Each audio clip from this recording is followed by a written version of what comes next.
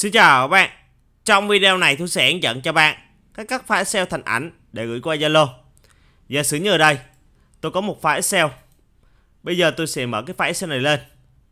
Rồi giả sử như bây giờ tôi muốn là cắt cái bản dữ liệu này thành ảnh để tôi gửi qua Zalo thì tôi sẽ làm như sau. Đầu tiên á, tôi sẽ quét chọn vào vùng dữ liệu mà tôi muốn cắt thành ảnh. Đó, bây giờ tôi sẽ quét chọn vào các bản dữ liệu này. Sau đó ở đây tôi sẽ vào top home. Bên cạnh từ copy á nó có mũi tên chỉ xuống. Bây giờ tôi sẽ bấm vào. Sau đó ở đây tôi sẽ chọn một dòng là copy add picture. Thì lúc này á nó sẽ xuất hiện hộp thoại là copy picture. Tiếp theo ở đây các bạn chúng ta sẽ tích vào các tùy chọn ở trên nha. Tích vào tùy chọn ở trên. Đó, tích chọn vào picture. Bấm vào OK. Rồi, bây giờ các bạn chúng ta mở quạt lên. Sau đó các bạn chúng ta sẽ bấm tổ phím là Ctrl V. Thì đây chính là hình ảnh này.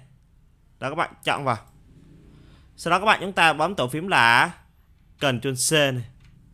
Tiếp theo, các bạn chúng ta mở Zalo lên. Và chọn vào bạn mà bạn muốn gửi.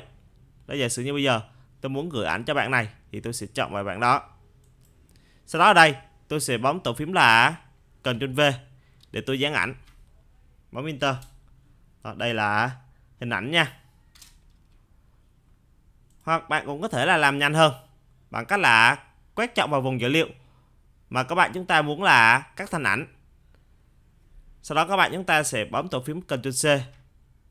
Rồi tiếp theo các bạn chúng ta sẽ qua Word này. Ở đây tôi sẽ xóa hình ảnh này đi. Tiếp theo tôi sẽ bấm phải chuột này. Và các bạn chúng ta sẽ chọn vào dòng là Picture. Nhớ nha, các bạn chúng ta sẽ chọn vào Picture, bấm phải chuột chọn vào Picture ở đây nha. Thì đây chính là hình ảnh. Các bạn chúng ta sẽ chọn vào hình ảnh. Bấm tổ phím Ctrl C rồi lên Zalo. Bấm tổ phím Ctrl V để dán. Enter. Đó, đây cũng là hình ảnh nha. Đó như vậy là trong video vừa rồi tôi vừa hướng dẫn cho bạn cách cắt file Excel thành ảnh để gửi qua Zalo. Nếu thấy video hay, hữu ích thì bạn hãy đăng ký kênh và chia sẻ cho nhiều người khác cùng xem. Cảm ơn bạn đã theo dõi.